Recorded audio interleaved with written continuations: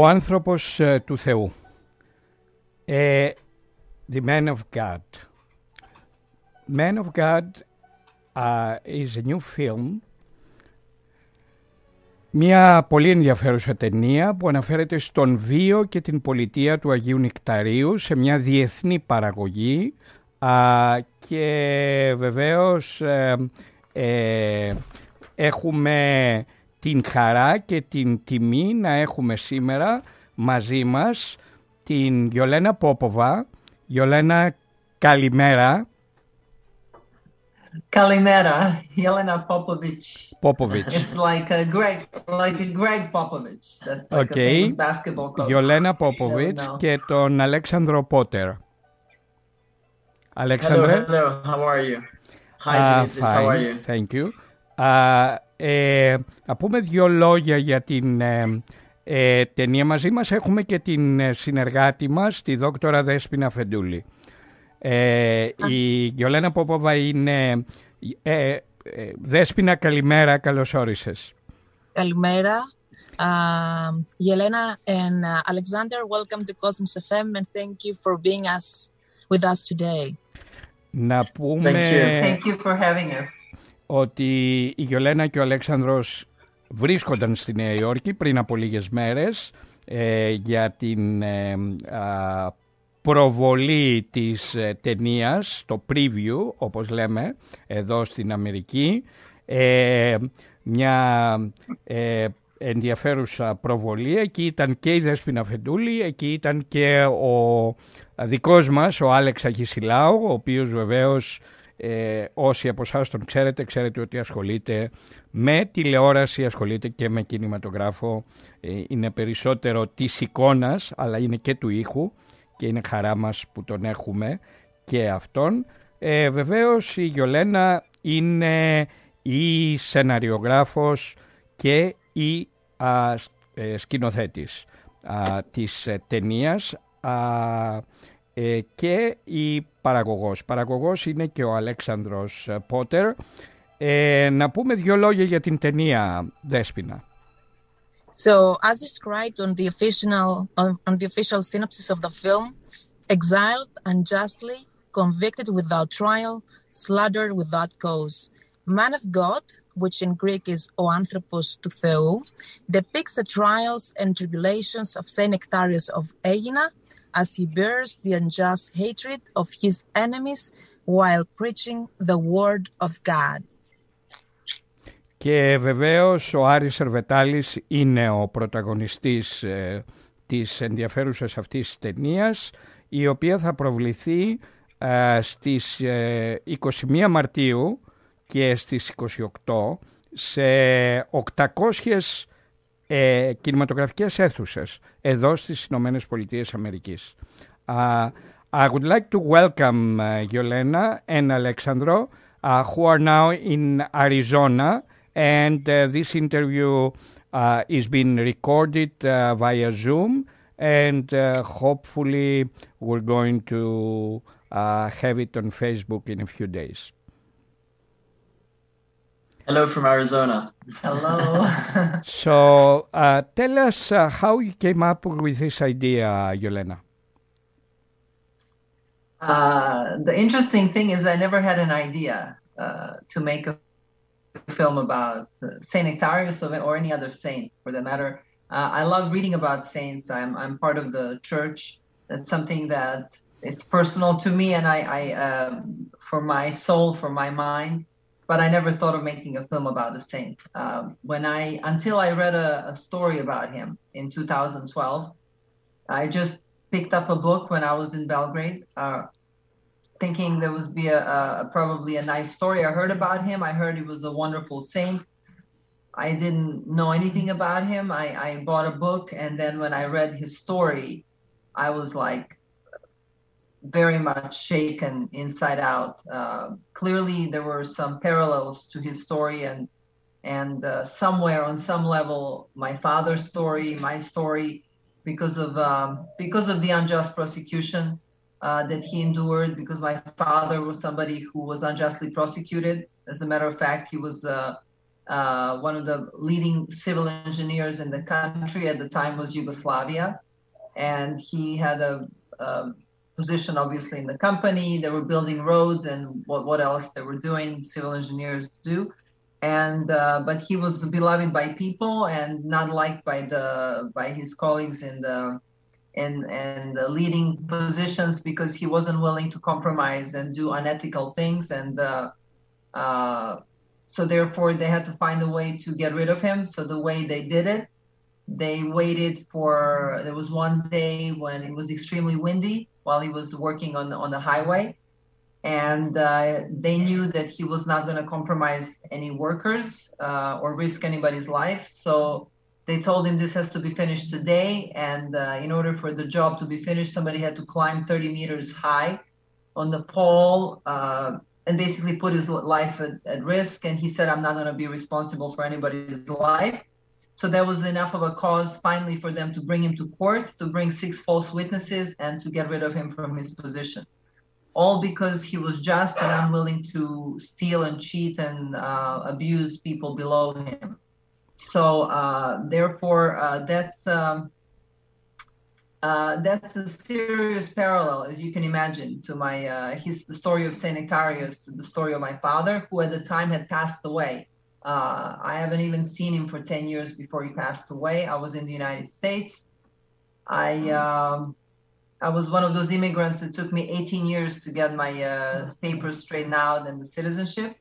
So I end up not seeing him, uh, but uh, going to one year of his uh, funeral re- uh, memorial service, and that's where I bought a book about Saint Nectarius. And clearly, when I read the book, and having my father in my mind so closely at that point, it resonated to such extent that I felt that uh, I could personally uh, put honest honesty in his story and and bring it to close to people's hearts and make it as real as possible. So people regardless of their faith or or ethnic background uh, they can identify with this man who was unjustly uh, prosecuted and how he endured his, this injustice and and how he chose this incredible love and forgiveness uh, to find peace and to be victorious at the end which is ultimately what i feel is relevant nowadays especially in the times that we live in. So it was a very personal uh, thing.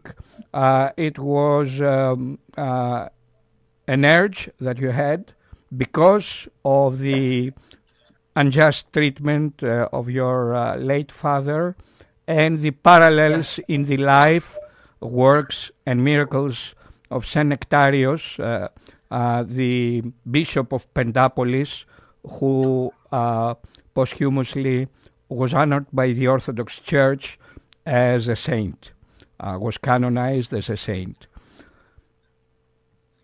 That's uh-huh. correct. He was canonized in 1961 uh, uh, as a saint after thousands of miracles that he's already performed during his life and after his repose.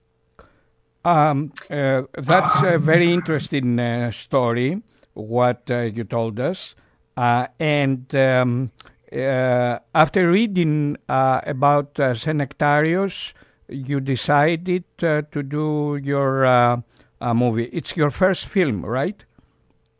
No, actually, it's a second film. I've done one film. it's called LA Superheroes. It was a totally different subject matter. It was a satire, drama, comedy satire on on Los Angeles and life in LA. So it was definitely lighter subject in some ways, uh, but it was a good experience. Uh, I, I directed it, I wrote it, and I starred in that one. So that was extremely, I think that was a fantastic experience for me. So I think I was ready to then dwell into something a little more uh, complicated and serious after that. And I'm grateful that I had a chance to do it. As you know, in a in independent filmmaking, most talented people don't get that chance. And I feel that St. Nectarios had something to do with it. okay. Uh, so um, uh, you had the opportunity to do this as a second uh, film in your career as uh-huh. an independent producer. And Alexandre, how you came up and tell us a few words about your experience as a producer uh, of this film? Alexandros Potter. Yes. Hi. So it's a it's a good question. Um, some people may know, but uh, I am married to Yelena, so we're we're a couple. Um, uh, so there there are challenges there, uh, but there are also benefits, I would say. Um, so you know, I, I my my background is is film finance and film distribution, and and so um, I've I've sort of lent a hand in in uh, putting the film together um, with Yelena, and uh, so we've been we've been working together on this uh, from the beginning, really, and um, so it's been a journey. It's been an incredible journey, and and I've gone to to get to know uh, Saint Nectarius. I would say on a different level, um, just you know from the experience of going through uh, the production and the pre-production and post-production, and then really the the amazing sort of feedback and and reactions from people that have seen the film um, and who have shared their their feelings about it and uh, their emotions and what what what this film really does and how it helps people because I think this was really the intention of Yelena was is is for this film and this story and and the saint to help people and touch people's hearts. Um, uh, Despina, Yeah. um, uh, you have the next I'll- question. I would like to ask Elena, uh, according to a 2020 study by the Center for the Study of Women in Television and Film at San Diego State University, uh, the percentages of women directing top grossing films increased, uh, while the overall percentages of women working in key behind the scenes roles remain relatively stable. And I'd like to ask your experience, your personal experience as a woman director. Um, I must say that uh, I um, I felt so close to this story, and this meant so much to me that I, I didn't. I, I personally, as a, as a woman, and I can share this with other women. I, I don't I don't feel inferior in any shape or form because uh, I'm a female. Even if somebody has a problem, that's their problem. You know, that this is this is how I see things, and I I was very empowered uh, by the story. And and ironically, this story uh, also I feel empowers women because uh, Saint Nectarius uh, uh, built a monastery uh, with women together, and there was there was some unjust prosecution also because of that. But he was an example of somebody who didn't um, discriminate between. Uh, uh, uh, female or male or, or, or, any kind of gender issue or, or, or or or skin color or ethnic background. He was somebody who was really spiritually very developed and, and he felt comfortable around everybody. And I must say that a lot of women have participated in this film and made it happen. Like my distributor uh, in um, in Greece, uh, uh, Irini. Souganidou, uh, and all From the Feel all Good the, Entertainment. Feel Good Entertainment, all the, all the girls in the meeting, and this was a very important meeting, is that they were the ones that believed in this. And I always said that, for some reason, like almost like Saint Nectarius wanted a lot of women to be part of this project. And I felt really comfortable. There were a lot of women on the set, which also made me uh, uh, very comfortable. It would be awkward to be just surrounded only by men. And, and, and, uh, and I felt I felt really good and, and and both everybody was really dedicated to this project from their heart and it felt felt really good. I mean my, my script supervisor was a female, obviously costume designer and, and a lot of people, uh, assistants of a, of a of a DP. There were a lot of it was very It was very well it balanced. was very well say. balanced and, and it felt extremely comfortable and I and I felt really good. You know, everybody showed Uh, I, I must say a lot of respect and and uh, and and love for this project. So it was it was it was a good experience for me. It, it Thank you was very much. an intro, an international production. Uh, of course, uh, the filming was done in Greece, and uh, it was completed in 2021. Uh, Kostas Lambropoulos, Igor Nola, uh, and the two of you are the producers. The director. I, I, of- I have to, Dimitri. Sorry, I want to correct you on that. Just, um, it's actually Maria Yachnaki, myself, and Yelena are the producers. Kostas Lambropoulos is an executive producer. Um, and uh, yes, it, it, was produced in Greece, exactly. And, and uh, yes. And of course, uh, the uh, uh, scenario, uh, the writing, and the direction belongs to Yelena. φωτογραφία, photography Παναγιώτης Βασιλάκης, montage Labis Karalabidis, uh, the beautiful music belongs to Zbigniew Preisner. And uh, tell us, besides Ari Servetalis and um, uh, Mickey Rourke, uh, who are the other actors and actresses, mostly Greek uh, in the cast, right? Most of them. Yes, yes, mostly. We we decided to go for somewhat of a majority of the cast was Greek because we uh, and and you know if if this wasn't uh, I believe an international project, I probably would have just made it in Greek with all the Greek actors, right? But because uh, we I always felt that this film should go uh, beyond Greece and and the story could be shared with uh, everyone. It's a very universal story. We had some uh, couple of international actors like Mickey Rourke, Alexander Petrov uh, but everybody else was was Greek, and and I I had a, I mean it, I was very, uh, it was very important for me to choose the right actors for for the right roles. I was very lucky to have an opportunity to work with such uh, incredible talent of actors. I mean, if you look at uh, all the actors that are in the movie, they're they're incredibly talented and and and uh, so I mean I, I I'm sure people in Greece, they know them quite well, Kariofilia Karampeti, uh, Christos Loulis, uh, uh, and many others.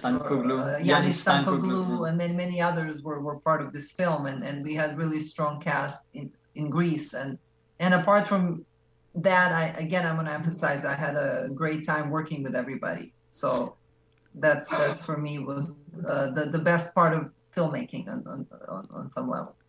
Um, the uh, the film approaches uh, the life uh, and um, the uh, tribulations of uh, uh, Saint Nectarios, the Bishop of Pentapolis, and his um, unjust treatment by the Church, and does not shy of the corruption that faces the Orthodox Church, and um, as all organized religion. So even though you're uh, a faithful Orthodox Christian, you didn't uh, shy of criticizing indirectly the church uh, uh and recognizing corruption in its um, uh, midst, uh, Yelena. Yes, I didn't shy in telling the truth. This is this film had to be told truthfully and part of his story uh, is uh, that yes, he was uh, uh unjustly treated by uh, some of his colleagues in within the church.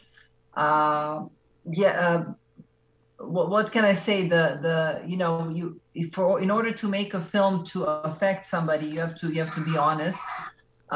my goal was to criticize uh, not particularly the church, to criticize the establishment. This film very much uh, goes against the establishment uh, in any kind of organization. It could be church, it could be politics, it could be uh, education, it could be any sphere of existence. It criticizes those that abuse their power, uh, that they're supposed to be there to help people and to lead people, but instead they hurt people. And this is this is who this film is criticizing. Uh, so it's not just criticizing the church. I just want to emphasize that the film is very much geared. One of the main premises of this film, and I and I and that's why it's it's um, it's made the way it was is that the desire, the unhealthy desire for power and lust for power, is the is the is basically the seed of, of corruption of our souls and our world nowadays. That that's that's uh, that very much uh, uh, plays in this movie. So yes, that was. Uh, but you know, as you can see, it. Uh, we also have grace in the church and and God. So uh, we don't have angels in the church. We know that. So we have to. To me, I'm somebody who has a lot of faith. I never, I never, um, I don't think people should so much focus on what people do. Uh, but yes, I, we always pray that uh, in any organization, especially within the church, we have uh, good people and uh, people that can help people. That that's like Saint Nectarius. He's a great example of that. Okay. Um, we have um, uh, tell us a few uh, words about the um, uh, distribution of the film here in the United States, Alexandra, and beyond, since it's an international production and is going to play yes. starting March the 21st.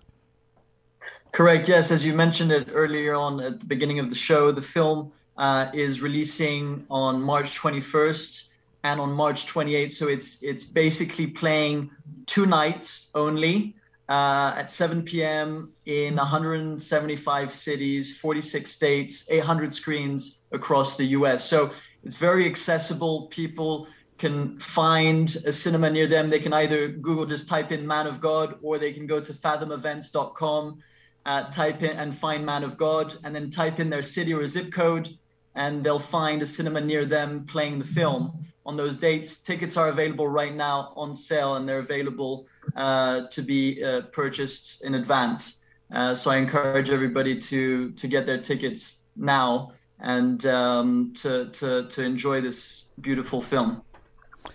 Um, and uh, I'm going to ask uh, uh, Dr. Despina Afentouli for the last question. Um, Greece and Serbia traditionally share historical, cultural, and religious ties. And I know that um, you produced a film in Greece, and so I would like to ask you uh, how was your experience um, producing this film in Greece, and to what extent is it difficult to promote a religious theme through art at international level? Uh, I, I'm sure Yelena will jump in as well, but um, I, I, think there's definitely um, we we've had a great experience. First of all, what I'll say is in Greece, there's, there's a great program right now for uh, the cash rebate, which means that if you spend $100, you get $40 back uh, from uh, EKOME, which is the audiovisual center in Greece. Uh, and they've done a fantastic job at putting that together in the last couple of years. Uh, and it's up and running and fully functional.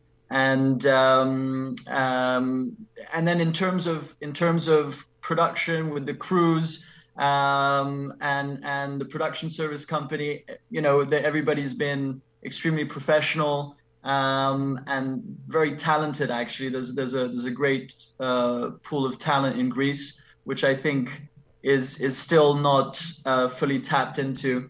Um, and um, I think on on on on your last point about uh, a religious film and how difficult that is, there were a lot of challenges, and and uh, you know early on um, there were certain programs. I won't point them out here right now, but there there were certain programs that because even though the film had uh, all commercially speaking, we had all the pro, we had all the all the boxes checked.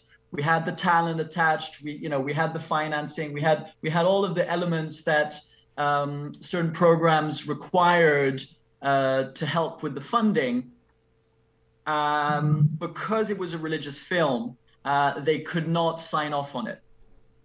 Yeah, so yeah and i would like to if you don't mind jump in here yeah. i kept saying and it's true i did not make a religious movie i approached this film and that was the trick when i saw the story i was very much attracted to the story because i felt yes it has a religious theme he happened to be a, a person man that i was making a film about it happens to be metropolitan of the church but but I, I did not mm, try to make a religious movie. I did not want to make a propaganda of any sort. I was trying to make the film on uh, to really approach it on a, very human level, and that's how a film is made, and that's why anybody can really watch it. So even though we were saying that, and, and they could see it in the script, because when when um, uh, Irini uh, from Feel Good uh, read the script, for example, and when we had the first meeting, she goes like, well, this is not a religious film. I said, well, yes, it's not a religious film. That's correct. She, she was able to, it is about a religious subject. I, I believe that spirituality will be present in case that we really focus on the truth and we are as honest as we can be. And then that's where the, that's where the, the this, uh, that's where the creativity and beauty comes out is from the honesty and the truth. But yes, to just to add a little bit, so people were slightly confused there. They just always like to think, oh, it's only religious film and and who's going to watch this? Only a few grandmothers with a few grandchildren. Well, they were wrong. It was a lot of young people, as you see what happened in Greece, they called it phenomenon. Watch the movie. And not only that, this film has been accepted worldwide, even by people who know nothing about Orthodoxy and being distributed. Because again, the theme is very universal. Uh, it's a universal story, and the approach to this film was not religious; it was it was human. So, so I think that that's uh, uh, and I think, by the way, that people were wrong. That was my opinion as a producer. And I always thought that for many years, and Alexandros can testify to this, that I said, you know, more and more in this world that we live in, we're going to need films that, that you feel that you can get inspired by and you feel hopefully if it's done well enough you feel there is a healing process something films that give you hope and I think those kind of films are, are, are needed right now. It's the right time for that. And I feel like there are going to be many more, not just my film. And I hope it, it'll be a good example and, and inspiration for others to, to bring those kind of stories to the surface because I think they're needed. Because unfortunately, nowadays, uh, there are all sorts of genre out there. I know people like it, but unfortunately, uh, horror stories and thrillers, we have them in real life right now. We watch them on the news every day. So we need uh, we need now positive energy we need hope and we need healing and with that word uh, the word of uh, hope and healing we end uh, this uh, interview with uh, Yolena Popovich the director of Man of God the movie and Alexandros Potter the executive director I would like to thank both of them as well as Dr. Despina Fedouli uh, the sociologist and journalist and our uh, uh, co-worker here at Cosmos FM. Ευχαριστώ πολύ. Καλή επιτυχία. Ευχαριστώ πάρα πολύ. Ευχαριστώ πάρα πολύ. Ευχαριστούμε πολύ. Thank you. Thank you. Uh, thank you. Elena, we thank you, wish you success. Uh, uh, and as we said, the uh, filming in about 800 uh, screens around the United States uh, uh, the screening is going to take place March the 21st and March the 28th. 21 και 28 Μαρτίου. Να είστε καλά. Καλή συνέχεια.